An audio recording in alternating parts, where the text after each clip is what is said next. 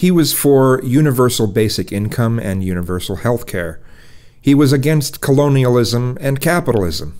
He certainly wasn't there to demonize white people. He would have found some of the actions and philosophies by some people in Black Lives Matter and also in many of the unfortunate parts of the modern social justice movement to be disgusting and extremely damaging.